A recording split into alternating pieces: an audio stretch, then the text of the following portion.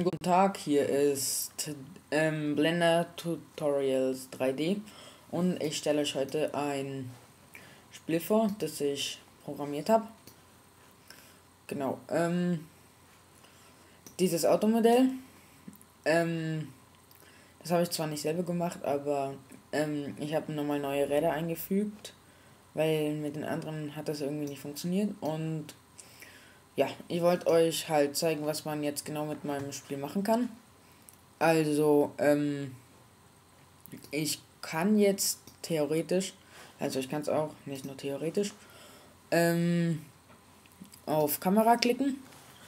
Dann gehe ich, so, dann sehe ich hier die Kameraansicht.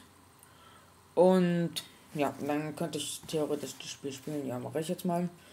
Ähm, ich habe jetzt gemacht, dass man mit Space Gas macht und man mit dem Pfeiltasten lenkt und mit B fährt man rückwärts. Also, ja.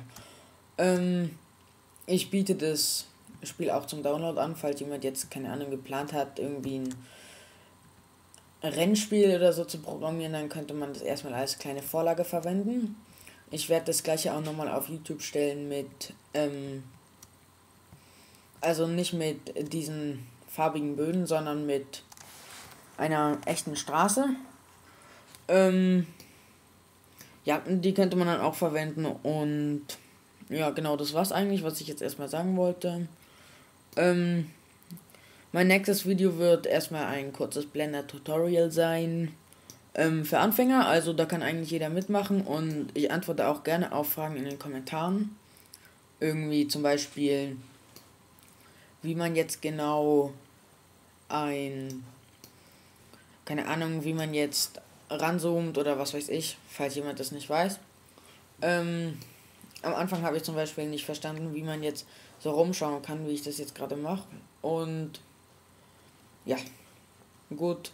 Ähm, für weitere Fragen einfach in den Kommentaren dann fragen. Ich antworte gerne, weil ja, ich bin nicht so ein Egoist wie andere ähm, Let's Player oder YouTuber, die überhaupt nicht antworten auf Fragen.